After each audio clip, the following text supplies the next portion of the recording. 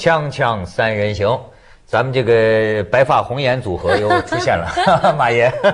哎，我是负责红颜啊，不是负责白发。但是你别说李艾，就是你看这两年哈，咱们这个这个一块儿聊，我真是在你身上发现啊，这个女人还真是得上点岁数。等我等我想想，这是 我我我的意思是，哎，我真是感觉这一两年来啊，好像我明显看见你就是人呐，这个应对说话呀。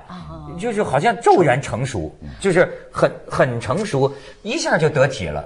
意思原来一直没找着底儿，不不是这意思。哎，就会有这种感觉。我觉得这是岁月给予我的礼物，就好像你接触了很多高人似的，是吧？就是因为来这节目多啊，认识大家，然后我就觉得每次来这儿，我都是一个学习吸收的过程，是不是很得体？成熟了吗？成熟了，知道需要你说什么话啊？哎，所以有些小姑娘她没到岁数，你就真是不能怪她，对吧？她就是。林妙可，我才知道才十四岁。嗯，你知道大家知道是就是奥运会上那个表演唱歌的表演唱歌的，嗯，那个小小妹妹对吧？嗯，小妹妹现在也是个名人啊，也混成名人，在微博上，哎，这个话题很我觉得挺有意思。现在无聊啊，很多东西也不让聊，但是呢，就剪这个就算是一个话题吗？也算有有你们你们开微博都看见，对，争论挺大的。我能学吗？就是说，这小姑娘有一天就等于说啊，说我喜欢抻面、拉面，是不是喜欢吃这抻面？然后这个网友就就在底下调侃。他在餐馆里嘛，表演性啊，表演不是在他们家。这网友就说你下面好吃吗？然后这下小姑娘或者说听说她这个微博呀，其实是她呀还是她的妈妈呀共同。管理的是吧？然后这小姑娘就说说这这个这个这个，我们应该杜绝这个有害言论，净化网络这个环境，那些有污染会污染我的这些个空气都不应该让它存在。嗯，这下完了。他这个跟中宣部比较统一。嗯嗯嗯。哎，但是可能我觉得从他妈的立场上讲，我女儿才十四岁，嗯，给开斗这种闷子，嗯，有点问题。嗯，是吗？有点问题，是因为呃，是因为他妈觉得他女儿的这个地位不应该受到社会这样一个攻击，它是一个攻击现象，不是一个质疑现象。反正我最早看见类似于这样的帖子，可能也得个一两年前啊啊，反正是，呃，大 S。曾经有一个类特别类似的微博，也是有一个面，但它好像是在一个什么农家乐之类的那样的场景里头，也没多说，就说我下面给你吃呀，就是写的那行字就是我下面给你吃，就是可能有点撒娇啊，或者是有点反正跟跟网友跟网友就是有点就是说我我的面我做面给你吃这样，但他那个是可能台湾人，他就说我下面给你吃。啊！结果呢？这篇微博呢就被狂转，然后就各种恶心的，你知道就来了。就是原来下面的教母是大 S，是吧？我不知道是不是他是第一个。不是台湾这个下面北方话都叫下面，都叫下面啊，下面条嘛。这下面条对，但他没有下面条给你，但他没有条这个字啊。这这这对我来说一点不新奇，这就是开黄腔嘛。但是 慢慢就是这个，但是这个问题啊，我倒是想起来，就跟这个。这个网络语言，嗯，林妙可这个事儿啊，也有人说说你未成年人是不是就不要到这脏地方来，是吧？嗯，我觉得有道理，就是在你不能不不能进入这个环境，最好不进入。比如说未成年人不进入歌厅，这就是一般要求嘛。对啊，对啊，就你不应该进入啊。是，比如说你还不能够很好的游泳呢，你就先在游泳池里或者在保护区里头游一游。等你真的能够觉得自己能面对大海的时候，再到大海里。对你现在那个电脑里是有那么一个按钮的，就家长。控制，嗯，他就是怕不到一定年龄的孩子，那是啊，这地方你你家长要觉得不能看，你就可以家长控制这个电电脑嘛，嗯，所以我就说，那你说，当然有些人呐，恨不能就就像你说的一样，就跟咱这个什么 宣传部门一样，就我能不能净化了你网络空气？我觉得不可能的，不可能，他这个我觉得净化呢是是一个心灵上的事。嗯。它这个社会呢，你是一个公共平台的时候，当然说话，我们首先不主张就胡马溜丢，说那难听话，这是肯定不行的。那你也挡不住。呃，是挡不住，但是这个理论上讲，从道德水准上，这个地方不管是哪个国家，都一定是受控制的，或者说受约束的，是心灵约束。关键是问题，它为什么会产生？就为什么会产生在他身上？这是你要找原因的。我他别人，我想。这微博里下过面条的人多了，是是有怎么就啊？怎么对？我觉得啊怎么就到他身上呢可能比？如说第一次，反正我看见大 S，那是我第一次看见这样类似的这样的微博转发哈。我当时看见的时候，我就觉得挺挺恶心、挺难受的。那反正如果又再转，我就不看、屏蔽或者是怎么样的哈，就自己选择不去看。但问题是没有。造成像今天这样子的，就是大家讨论的问这个这个这种气候和、和环境，为什么呢？就当时可能大家就觉得，我就开开你玩笑，怎么了？你可能你是明星什么的这有一个本质不同，我就没觉得大家当时有可是未成年哎人，大 S 是成年人，大 S 呃下面条的事儿多，这这个无所谓，对吧？大 S 对吧整天下面哎对对，那个事儿无所谓。他是成年人，这是未成年人。我们首先要这有一个区别，他十四岁嘛，按照一般法律保护，他还是受，就是他是一个没有行为能力的人，都是完全是让他父母代使他行行使这个法律权利的人。他为什么受到这么这这种这种泼污水式的这种攻击呢？跟他早年的这个这个历史有很大关系，就是十四岁都有历史问题。那当然，他他几岁出来呃那个教表演唱歌的？奥运会嘛，这零八年这，零八年。嗯。离现在是多七七年。了吧？七年，嗯嗯嗯，没有七年会会算数吧？五年，五年，三 年，五年，五年，五年。那么他大概数学是语文老师教的他大概什么素质？对对对，他大概在九岁的时候呢，被被成年人推到前台，嗯，代替了别人唱歌。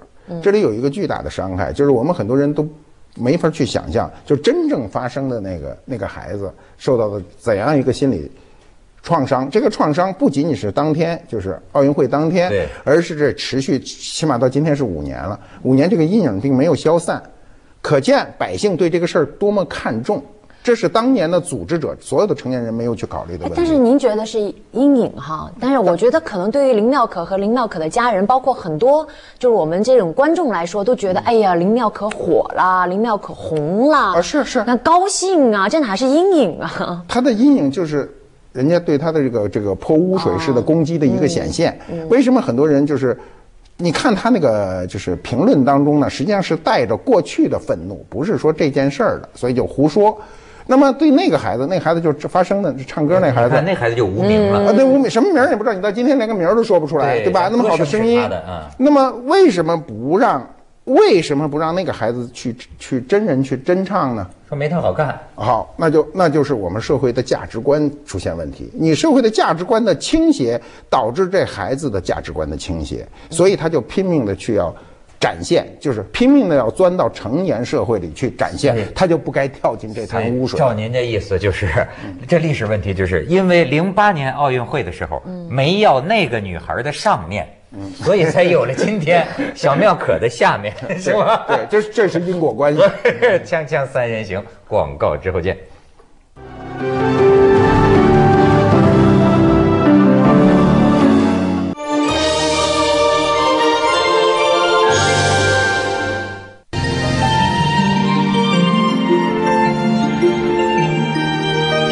中华一脉，自然出众。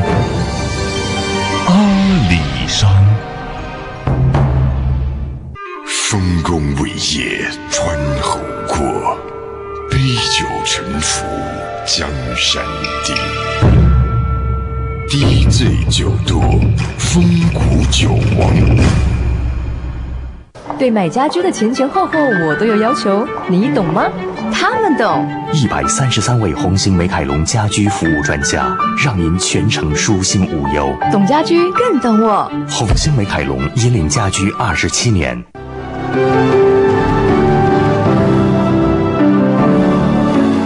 过我倒不是说林妙可，这不是小小小小女孩哈，我就有有婶这个事儿啊，引起我一个低级趣味。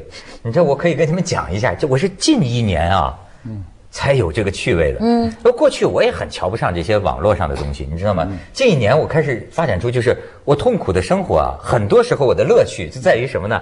看这个新闻后边那个跟帖，那个网友，哎。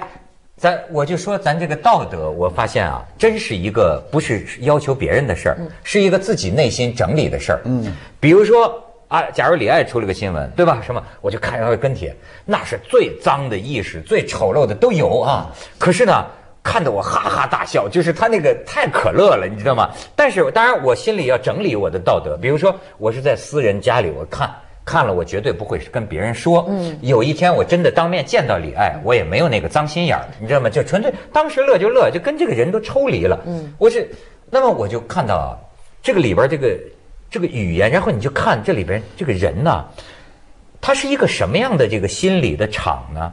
你比如说，我当着你这个女的的面儿，我也不知道，就是这这话有点不文啊，就是你比如说，你注意到没有？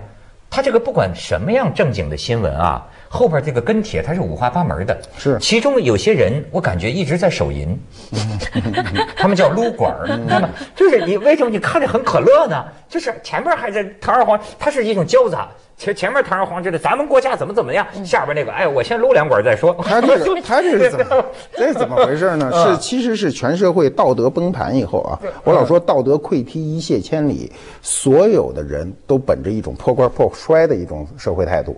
就大家为什么写这个？这个人呢，他都是破罐破摔，说这社会就这烂德行，我只好以此方法对待这个现在这个现实社会。不是，就是会不会是说，在某种情况下，就像我在我的小黑屋里啊，嗯嗯，这个人的欲望潜意识完全解放，不就是不不不，社会大环境是有约束的。看见一个女明星的新闻，这下边肯定是我想干她，是是就是这个吗？是是是但过去的人不会这样，过去的他在约束当中，他再怎么想，他也想不到今天这么肮脏。为什么呢？就是社会是一个崩盘的。我老觉得，你比如那孩子，还是说到最初这个话题，就是这孩子上台演出的时候，是大人的道德选择。他不懂，这孩子几岁是吧？让你上去你就上去，这孩子没有任何错误。但是所有后面人的道德是有瑕疵的。呃，这是我说的是最轻的，是有瑕疵的。我认为当时把他推上前台的所有的成年人是道德有缺陷的，他才把，因为他不自信嘛，他觉得那孩子不好看。那么人好看不好看有差异吗？在在做人方面，嗯嗯，没有。那你为什么要把一个孩子弄成一个假事儿搁在前头，而且是这么大的一个事儿？他不是我们单位弄一个。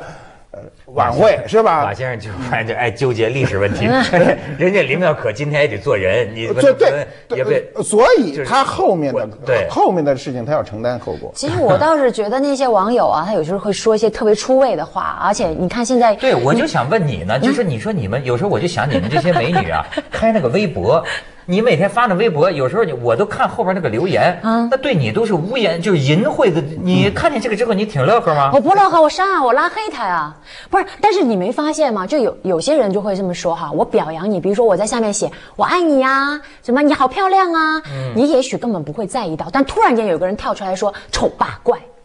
你这个变态，或者是什么？我最讨厌就是你了。或者下面哎，你你搞不好你你你就还真的认真看了一下，说谁呀、就人有时候就是这样，你对批评的声音也许就说的最轻的，批评就咱们 咱们这么说吧，就是说的说的最轻的，就是咱们对这种负面的声音有时候会多看两眼，正面的因为太多了或者怎么样的，你可能也就过去了。他就是为了要突出自己，或者我要出众，我要出风头。所以你知道，我跟你说越来越多这样我给你我跟你我跟你说一段啊，就是我还特意有有有时候我经常把一些语言的这个精华给它扒下来，你知道吗？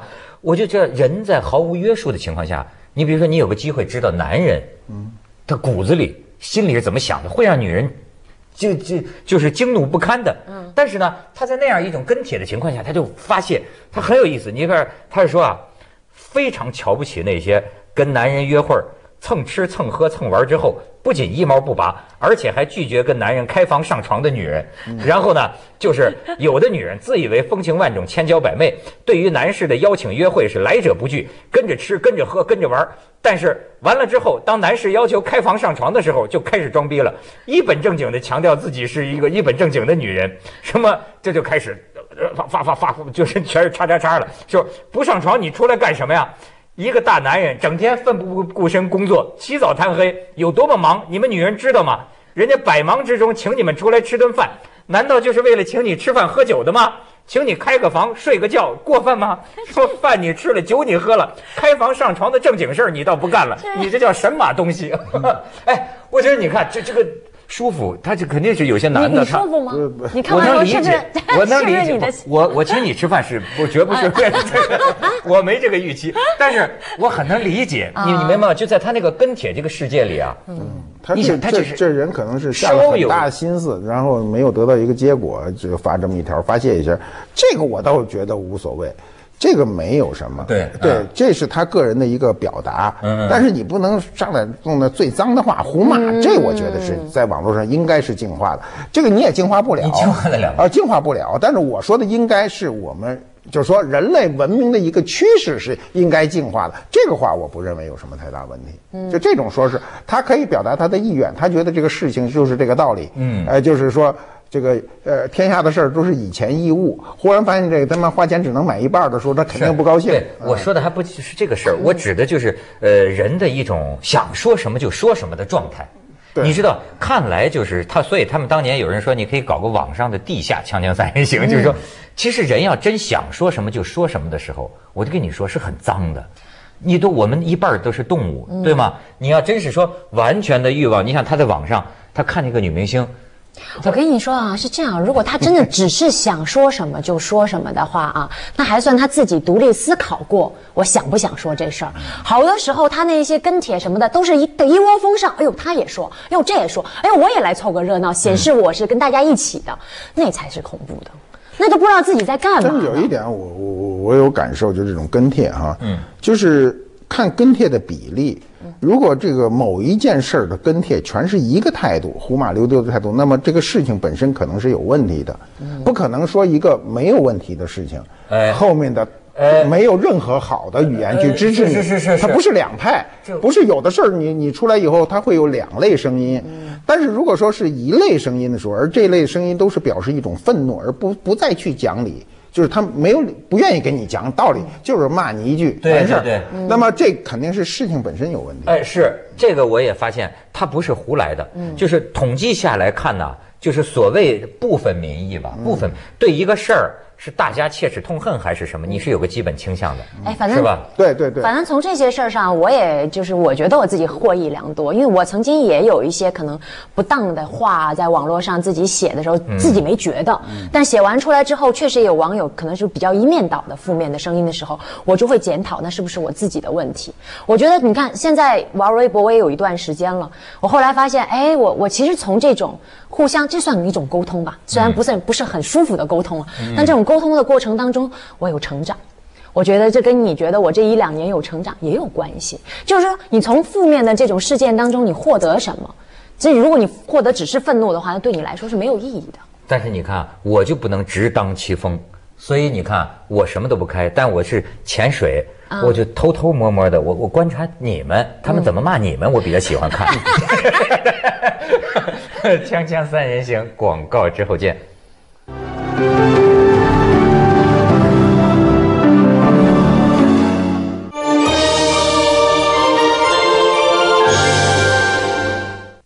炎症易反复怎么办？找魏太医呀、魏太医牌盆炎净胶囊，专业解决小腹痛、腰酸冷、白带多、易反复。妇科炎症防反复，就用魏太医牌盆炎净胶囊。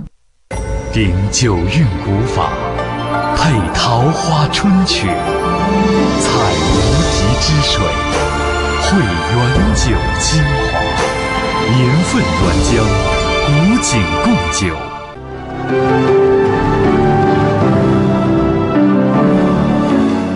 这个事儿啊，真是如果事不关己啊，嗯，那就看着很很乐呵，你知道吗？你哎，你们俩都是有开有写博客的，嗯，有有开微博的，嗯你们现在都已经是不是百毒不侵了？那也不能，有些时候还是心会有波澜的，看着那些 讨厌的话。但但是说实话，今天这个事件，我觉得最起码有一点，以后如果再有人写这种什么下面啊这种东西，估计就会有人跳出来要骂他了，不管是对谁，对未成年也好，对成年也好。我觉得这好多时候是社会是经过一次一次的讨论之后，还是会向好的方向发展的。我不懂哎，就是说，呃，就是按说，我认为这个东西就是，我认为欲望完全解放，就是人想，因为匿名嘛，匿名想说什么，那真是这，你可以有一个机会观察到，人在完全不设限的情况下，他最本能的流露是些什么？其实哈是吗？骂大街的都有，但可是我不得不说啊。呃，比如说香港，嗯，或者是台湾，英语我不懂，那么，他们那个网上那种我也看一看啊，都是他们当然也骂，也什么，但是呢，呃，相比之下，用语言的这个文明措辞的文文明程度，呃，比咱们和缓，比咱们和缓。因因为我用微博啊，就是呃，我也看有很多就是网友是用就是那种昵称，他不是用自己的真实身份，就没有加 V 嘛，不是真实身份在网上。你不要以为他是匿名，他就可以不在乎自己的这个这个昵称的这个所背后的这个什么所谓尊严也好干嘛？哦你不要以为他不在乎，在乎的。如果说你你在一个呃微博下面看见他们有两个两个吵架的。就是两个昵称，不是那种真实身份的在吵架，你就证明其实他们也很在乎自己昵称所带来的这种尊严，他觉得那就是他，你也不能随便骂他的，是啊，你不要以为大他是部分骂人的人都不能承受被骂。哦，你不要以为，你不要以为他不在乎这个名字，他在乎着呢。就是大部分在网上骂人的人呢，他都不敢跳出来让人家骂他，为什么呢？第一，他没有那么机会，就挨骂也是一个，就是你那么多人骂你，那可见你有人关注你。你知道我我在那个跟帖里，我看的最其中一个最大的乐趣就是看两个人如何从平静的对话呀，然后变成互相骂大街。那真是就是说，就说我这暴脾气，本来开始说，啊我觉得你不对，我觉得也不对，稍微那个人说话带点粗，嗯哇，你大爷的就开始一个骂的比一个狠，然后就互相说对方没有素质，这是最正常的一个一个。对对对，哎呦，骂的这个人类语言，这这是惊奇啊！我的天哪！那但是我是我，比如我我那个博客中啊有回帖嘛，我有时候经常看看，看看呢，我比较喜欢有人比较就是比较尖锐的批评，我是能看的。嗯，我觉得这个对我也很重要。就是刚才李爱讲，就是说的你会调整自己。嗯，呃，但是呢，那种就没道理的骂，尤其呢是做，呃其实骂个人，你比如你写一草泥马这事儿，我还就真不太在乎。你像草泥马不就是个古怪的动物而已嘛，对吧？但是他不能说。就是比如说，直接对你的家人，对什么，就是捎带着我也没什么受不了的，这也没，因为网上的事儿我都很清楚啊。我只是觉得这些人呢，就属于对他来说，他自己是真没辙了才说这话，嗯，对不对？我觉得人在宣泄情感到头的时候都是骂人，这全世界都是一样的，嗯，最简单的骂人就是说。草泥马这事儿就过去了，但是你不能说做那种有预谋的那种语言，什么什么你妈什么你爸什么就就这种就问候人家亲人啊，这这这就属于他自己非常硬啊，这能看出来。就每个人的说话，你能知道他背后的处境。嗯就是说越难听话的人，处境就越差。对，所以马马老师这意思就是说，说那些就是就是破口大骂的人，通常都是可能自己本身就过得不是太好，或者是有点无能为力，他才会愤怒。他自己无能为力了，他才愤愤怒，才会骂那些东西。但是没辙了。也有可能潜藏着一个 CEO，他白天装人，他不，他也是，晚上他但那对他就是处境不好。我说处境不好，不是说他没钱，也可能很有钱又没有地位很拧巴啊，很拧巴。然后呢，呃，好像是个高管，上面还有个高高管拧着他，他啊他就可能出现这种情况。有，他是精神的。这不之前不是还发生过，就是自己发一篇微博，还是好像明星啊，还是什么高管之类的，自己发一篇微博，可能下面没有，你不是骂他在下面还自己给自己留言，哎呦好帅哦，真好啊，结果忘记忘记换成小号了。就是用自己那个带 V 那个，直啊直接在下面，哇，好帅啊，好崇拜你啊，在下面发，就被人截图了，你知道吧？这不像我们《锵锵三人行》十五周年的节目就是这样做的吗？自己夸自己是吧？哎呀，哎，这个事儿我觉得是挺你你说，这叫阴暗呢，还是叫人性当中正常的一部分呢？